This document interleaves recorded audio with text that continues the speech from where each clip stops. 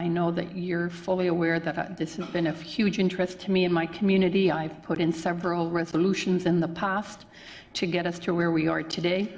Um, I did hear that there is a transition period and um, this policy won't come into effect for existing plans.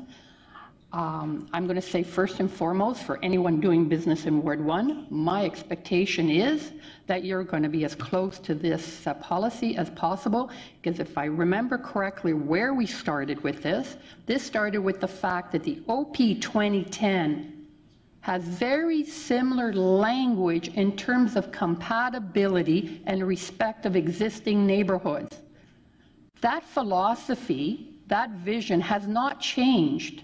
All we have done here is put very concrete parameters as to what that means.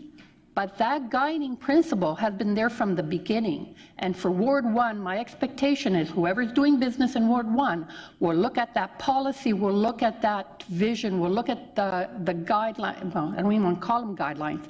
The intent of OP 2010 was always to protect established neighborhoods. So I can't speak for the other wards, but I will speak for Ward 1 that I don't care where your, pro, your project is in the process, I expect you to be as close as possible to respecting the established neighborhoods.